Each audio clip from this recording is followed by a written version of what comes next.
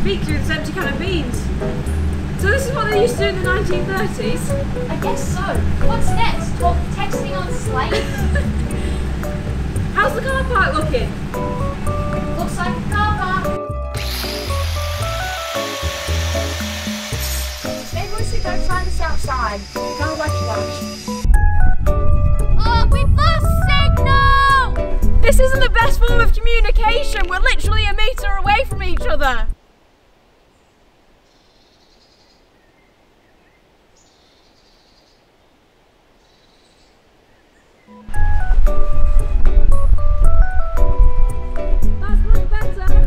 I think we're being stared at. Uh, doesn't matter. People did this for fun in the 30s. What's wrong with being a bit outdated? Give me back my telephone. Who are you? Graham, I want my telephone. It's literally just two cans and a piece of string.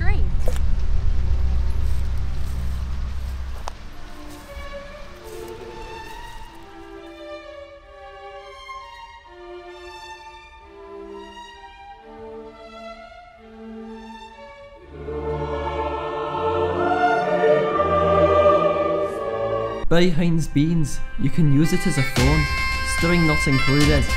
Remember, the Black Friday deal is still on. You can get up to 0.3% off your next can of beans.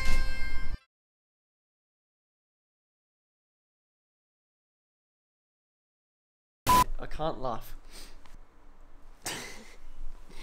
but you can get up to 0.3% off your next can of beans. You said 0.3 I said O oh again, I said O again, didn't I? Honestly, Ben, you not had your haggis today? Brew, Irn-Bru.